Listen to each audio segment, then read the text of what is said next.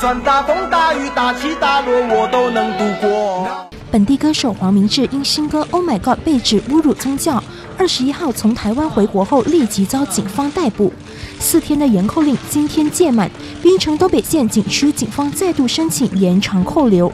黄明志在警方押送他到槟城推事庭的路上，全程保持安静，就连记者的询问也不回答。警方原本要延长扣留黄明志三天，却遭推事打祖丁驳回。